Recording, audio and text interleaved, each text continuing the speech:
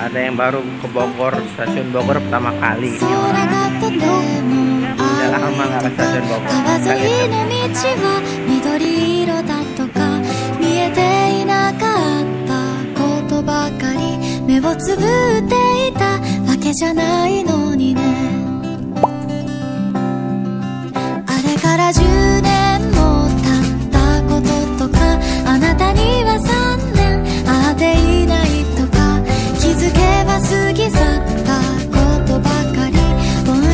していたわけじゃないの